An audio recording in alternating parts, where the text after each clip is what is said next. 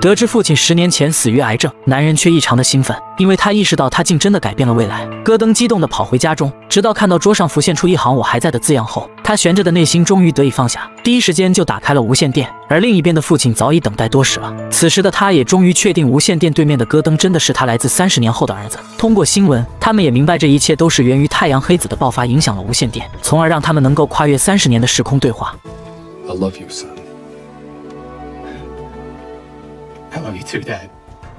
父子俩在这一刻有了说不完的话题。约翰想要了解儿子这三十年所经历的一切，戈登也终于重新感受到了缺失多年的父爱。同时，他也没忘了提醒父亲以后不要再抽烟了，不然二十年后还是会因癌症去世。两人聊了整整一夜，才不舍得切断了通话。戈登又立马拨打了母亲的电话，想要分享他激动的心情，可另一头却显示无人接听。起初，戈登并没有在意。然而睡梦中的他脑海里再次浮现出一段记忆片段，那是一场葬礼。葬礼上，戈登看到了所有父母的亲朋好友，甚至还看到了父亲，可却唯独失去了母亲的身影。